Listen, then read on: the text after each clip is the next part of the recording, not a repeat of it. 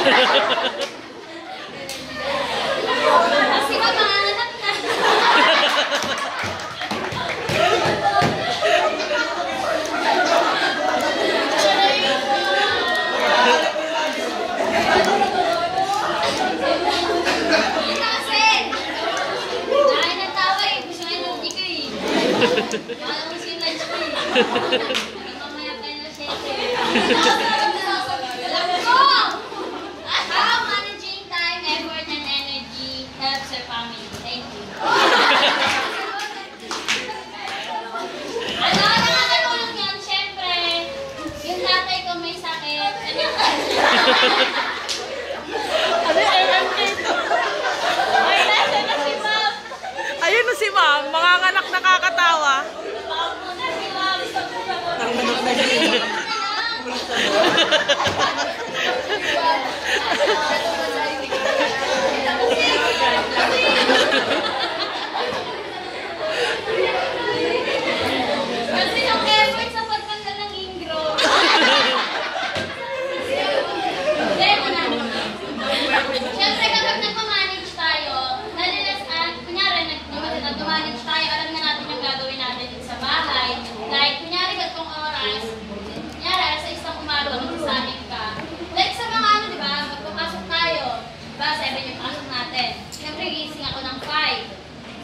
time management na yon, di ba? Kasi ano, magsasa habang nagsasayang ako, naliligo na ako.